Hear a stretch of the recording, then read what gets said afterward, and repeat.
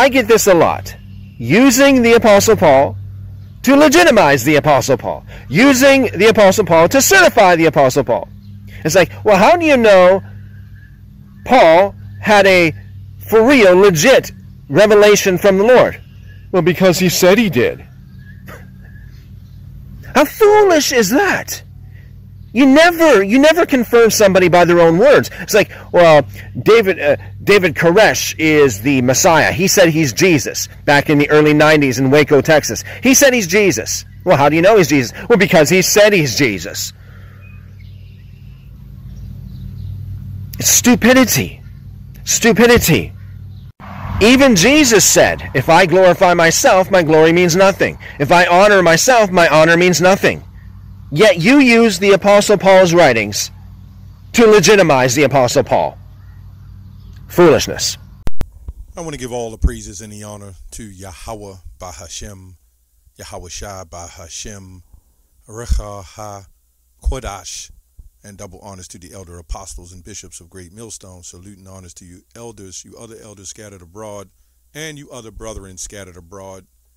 Also, shalom to you other followers and believers of the faith. Shalom even to you few sisters as well. shalom to the elect. So I want to do this video. Uh, I don't know what I what I'll title it. Put some respect on Paul's name, Apostle Paul's name. But you know, all of us that follow Yahweh is not going to be respected in this society, in this truth. And this is what I want to go into. I want to jump back on it because um, you have this group Sicarii says he doesn't authenticate the letters of Paul unless it says probably let your woman keep silence in the churches, as also saith the law, right? That the Most High didn't use Paul in situations to straighten certain things out because the Pharisees and certain men, it was all about uh, what they saw on record, but it wasn't about making things happen and you know shifting and moving you know just to make the situation correct sometimes you got to go different extreme measures to straighten things out just like anybody on a job things out of the ordinary you may have to do now if you if you don't agree with the letters of paul right then you probably don't believe in the Messiah. And this is key why you have to be careful with all these debates. Then you'll run into this is an old doctrine, by the way. Sicarii and many others picked these doctrines up by seducers. You know, you have seducers that will seduce you into those spirits. And it's because a lot of people don't do the research and understand what's going on. Uh, but we'll go back into this lesson again and uh, I'll read something that was controversial that you would have to go and do some research to understand what it's talking about. So anyway, let's go to Acts 13. I'll read this. I'll read some commentary. Let's see what else. Uh, maybe a couple of things. Yeah, not much. I'll try to keep it short. Uh, Acts 13 and 4. So they being sent forth, um, let me go up and see what this is. This is Paul's first minute missionary journey, right? Uh, it says the church that was in Antioch, um, like Barnabas, Simeon, Niger. Okay, I'm gonna just get to the point. So they being sent forth by the Holy Ghost departed unto Seleucia, right? And from thence they sailed to Cyprus. And when they were in Sal- Salamis, they preached the word of Yahweh in the synagogues of the Jews. And they had also John to their minister. And when they had gone through the isles unto Paphos, Paphos, they found a certain sorcerer, right, a false prophet, a Jew. So this is, you know, when people talk about the Jews and the Gentiles, Gentiles came on many levels. There was different forms of Gentiles. Uh, um, God fears. You had, you know, ones that believe in the Messiah. You had Jews, the Israelites. Then you had some who didn't believe in the Messiah. You had Grecian Jews. So you had various forms of things Paul was dealing with. Uh, anyway, that's another video. And um, it says, and was the deputy of the country Okay, here we go. A false prophet, a Jew, whose name was Bar, G- Bar Jesus, which was with the deputy of the country, Sergius Paulus, Paulus, a prudent man who called for Barnabas and Saul, right, and desired to hear the word of God, right, but Elymas, the sorcerer, for so his name by interpretation withstood them, seeking to turn away the deputy from the faith. This is when you read Matthew, it says, Anyone hear the word, understandeth it not, then cometh the wicked one to take away what is soul in his heart. Then it goes on to say, Then Saul, who is also called Paul, filled with the Holy Ghost, set his eyes on him. Right? So we understand that Paul was filled with the Holy Ghost. So if Paul was a, a minister, a messenger, an apostle of the Most High, and he clearly saying he was filled with the Holy Ghost, with the Holy Spirit, why would God why would the Most High use him? But anyway, they have their reasons. Um, um, seeking to turn away the faith. Then Saul, who's, who is called Paul, filled with the Holy Ghost, set his eyes on him and said, O full of all subtlety and all mischief, which means high level of uh, evilness, thou child of the devil, thou enemy of all righteousness, wilt thou not ease cease to pervert the right ways of the Lord? With the question mark. And now behold, a hand of the Lord is upon thee, and thou shalt be blind. Now seeing the sun, uh, not seeing the sun for a season. So you're going to tell me the Apostle Paul, who had this power to do this by the hand of the Lord, he's not authenticated? Anyway. And immediately there fell on him a mist and darkness, and he went about seeking some to lead him by the hand. Then the deputy, when he saw was uh, what was done, believed, being astonished, right, at the doctrine of the Lord. So you can imagine if you picture it, you can picture that he was being a seducer and a sorcerer, trying to trick people, probably saying the Messiah don't exist, like an Old Testament Israelite. You had to know people hated Apostle Paul for this. You had to know they did the same thing to Yahushua. Right? Now we're going to get into something more controversial that I wanted to bring out. I brought this out before. This is 1 Corinthians 7 and 12. Right? Um, I'm not going to read the whole thing. This is dealing with teachings of marriage, right? This is the thing they have a problem with too. It says, um, let me read the 10. And unto the married I command yet not I, but the Lord. Okay? He said, not I, but the Lord. If you hear that, let not their wife depart from the husband. So now he's quoting the commandments, right? But, and if she depart, let her remain unmarried or be reconciled to her husband, and let not the husband put her away his wife. Got to understand what was going on, especially in Corinth. I mean, in you know the church, it was it was sick. It says, "But to the rest I speak, the rest speak I, not the Lord. If I, if thy brother have a wife that believeth not, and she be pleased to dwell with him, let him not put her away." Now, why did he say this? I did research on this before. He wasn't technically talking about the Lord. He was really using guile, or let me say, mockery on the Pharisees that was saying it was all about the commandments, and if if she has uh, um, if if the wife doesn't believe a man is not supposed to be married to a heathen, right?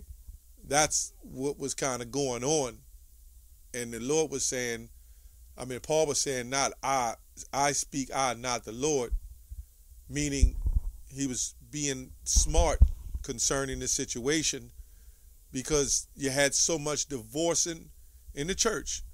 You had men that would put their wives away. You had Israelites telling men who had wives, or vice versa, wives that had husbands, don't deal with them. They're heathens. And this whole thing now is about grace and mercy. So when you go back to Yahweh, I believe with Mary, and they picked up rocks and threw it at her, that was the normal thing. Those were commandments. You know, you were supposed to, as they saw it, you're supposed to stone certain people who had abominable acts. You were supposed to do certain things, you know. But now, because we lost our identity, this is why we don't. And even after Yahweh that's when the mercy came, after he died. So this is why you don't stone your children, right? This is why there's certain things that it's not clear cut. You just got to wait on the Lord and have mercy, faith, because you never know who's going to wake up. And uh, mercy has bestowed to the children of Israel through the blood of the Lamb, the blood of Yahweh. So now there's faith bestowed on us. Can you imagine a lot of us that came into the truth if we came up against some of these men who says they're heathen men, stone them, you know, would be a problem. So we see the same thing with Yahweh when he healed the blind, healed the blind man. Right? They had a problem with that because according to them, now it's not in the law. In the law, you shut down everything, you do what you need to do, and that's it. But they've gotten away from the faith. This is why we don't push. It's all about the law. It's about faith because just following the law, you can it can be a, a form of carnal carnality to it. You're just saying, okay, just like somebody who prays and they praise in, in synagogues or they pray, but their prayer is not sincere. So you had a lot of Israelites who wasn't sincere in what they're doing. Let's get a little commentary just to give an understanding. Um, it says here, where am I at? 1 Corinthians 7 and 12. So this was really when he said that this was all about the marriage. It says not uh, not the Lord. He said not the Lord. This goes into I do not claim this advice to uh, to be under the influence of inspiration. I have no express command on the subject from the Lord, but I deliver my opinion as a servant of the Lord. Right? So we can go to First uh, Corinthians 7 and 40 right? It says, But she is happier if she so abide after my judgment, and I think also that I have the Spirit of God. Right? So let's go back. Um, it says, But I deliver my opinion as a servant of the Lord, having the right the right to offer advice.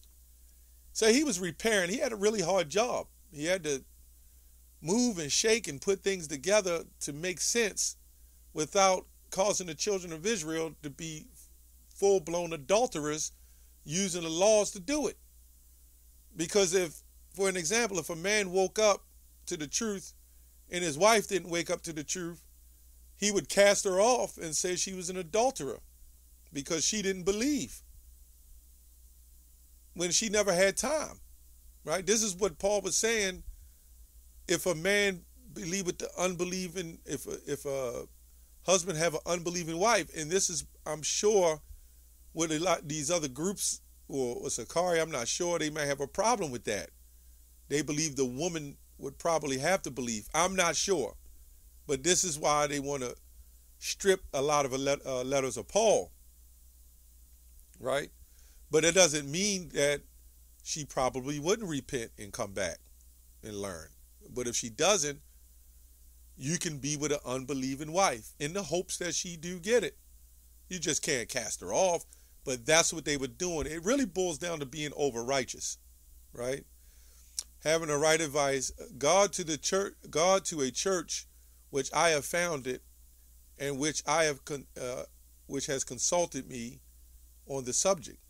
This was a case in which both he and they were to follow the principles of the Christian prudence and propriety, right? And it says when they when there were no express commandments, many such cases may occur. So what they was doing, they was being strict.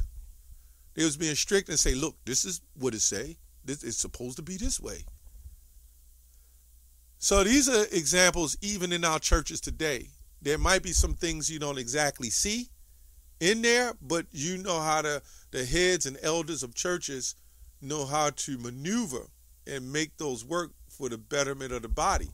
Remember, this is about the Holy Spirit. That's what it's all about. So if the Spirit with you, it'll help you put things in order. All right, let's go to 1 Corinthians 7 and 6. It says, But I speak this permission and not of commandment. You see that? That's what it say. I speak this permission and not of commandment. Let me see what this says. This says, I speak of permission, not a commandment. As the passage is given in our English version, it might seem as if Apostle implied that he had no actual commandment, but only the permission to write this, which is not to all at all his, his meaning. What he does say is that the foregoing instructions are not to be considered as absolute commands from him, but in general permissive instruction to be applied by each individual according to circumstances. So the bottom line, he had to do what he had to do to get the church back in order, right? This is what it was all about. And things that might have seemed a little flaky to some, they wouldn't agree. And this is the same thing, if you think about it, that happened with the Messiah. There's, he healed the blind man on the Sabbath, uh, the man at Bethesda, the pool of Bethesda. It was various, I think it was John 9. There was various things that Yahweh did in these miracles purposely, right, to show them the way is through him. That's the way. Even though we follow the laws, it's about the laws, but when people are not uh, uh, uh, permitting to keep the law sincerely, uh, just like at the shambles, we've seen that at the shambles. When I read up on that, what they were doing is making all kinds of sacrifices. Then you had to come and you know, eat and eat from the sacrifice foods because they wasn't believing that Messiah, uh, the Messiah was the ultimate sacrifice. So they would do certain things to try to keep that sacrificial, those sacrificial offerings going. When that no longer, you know, it, it was no longer an institution for a sacrifice because Yahweh had already done it. So that's that's the point.